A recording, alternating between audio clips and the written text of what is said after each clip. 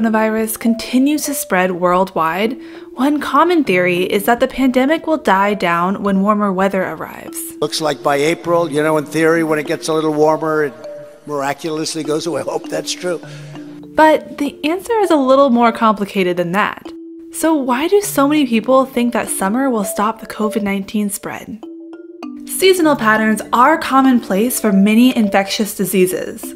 Take the flu, for example.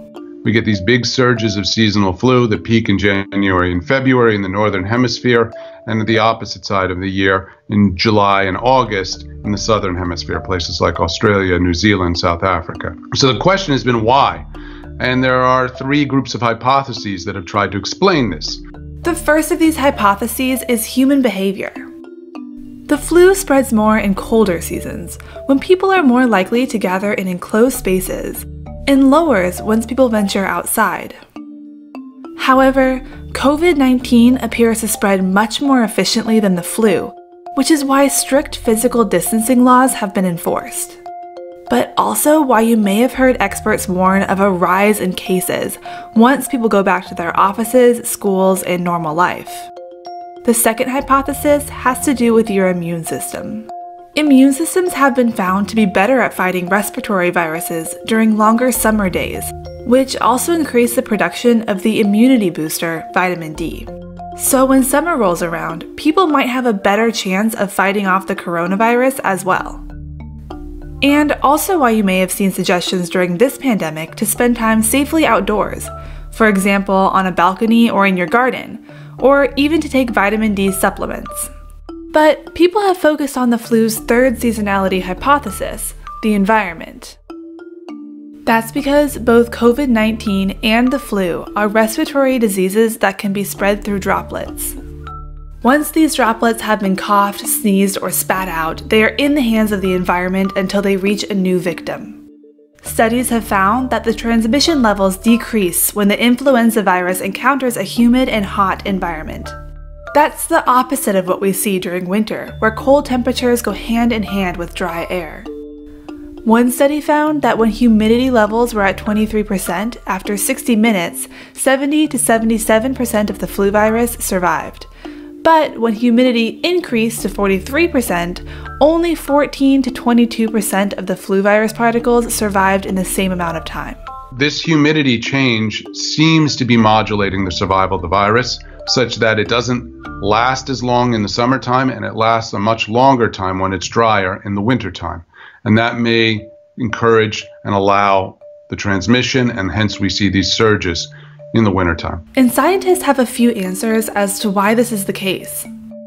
The influenza virus is a simple genetic code surrounded by a protein layer and a fatty envelope, similar to SARS CoV 2, the virus that caused COVID 19 but once it leaves the body, a layer of water encapsulates it as well. Some scientists believe that in high humidity environments, the virus picks up more water particles and becomes heavier, which forces it to drop out of the air, lowering the chance of transmission.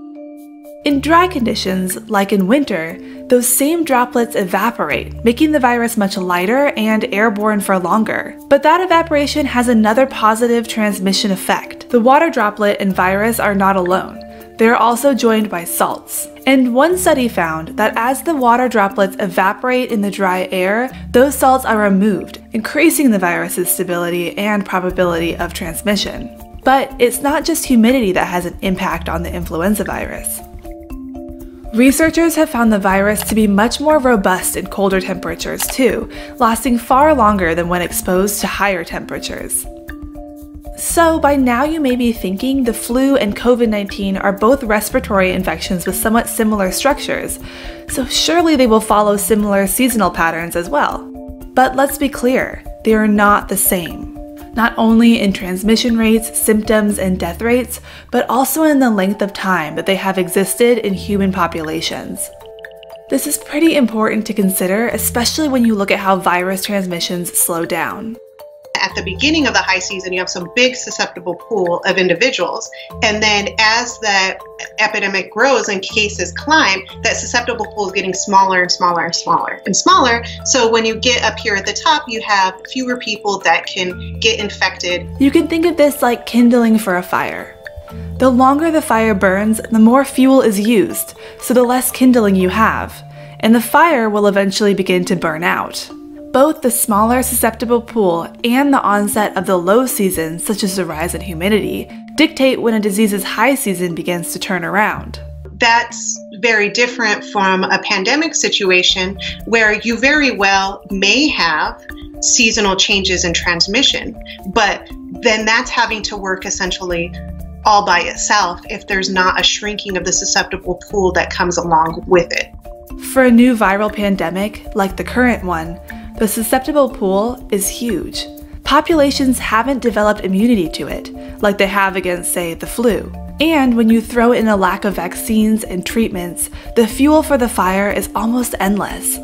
This isn't to say that COVID 19 won't be hindered at all by seasonality. One initial study from China showed decreases in SARS CoV 2 transmission along with increases in humidity. However, another study wasn't able to establish that connection.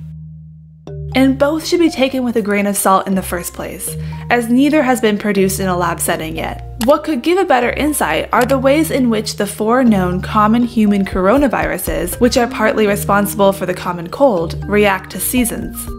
So there's evidence from other coronaviruses, and all four of them do this, that they have this pronounced seasonality. So there is this enticing possibility that has to be considered seriously and not dismissed that this novel coronavirus may also have this property because it's related to them. But notoriously humid places such as Hong Kong and Louisiana have seen prominent transmissions. And experts warn that when large groups begin to gather again, we could actually see another spike in cases, which brings us back to the fact that we may not see seasonal patterns just yet. But this doesn't mean that we won't see one in the future. If and when COVID 19 becomes a more regular presence in populations, there is a strong possibility of it being seasonal. As immunity, vaccines, and treatments become more readily available, the susceptible pool will decrease, and the spread will likely increase only when the conditions are more favorable and therefore seasonal. But again, this is a new disease, and these are only predictions. Current methods of stopping the outbreak, such as self isolation, are far more efficient than waiting for it to stop naturally with the weather.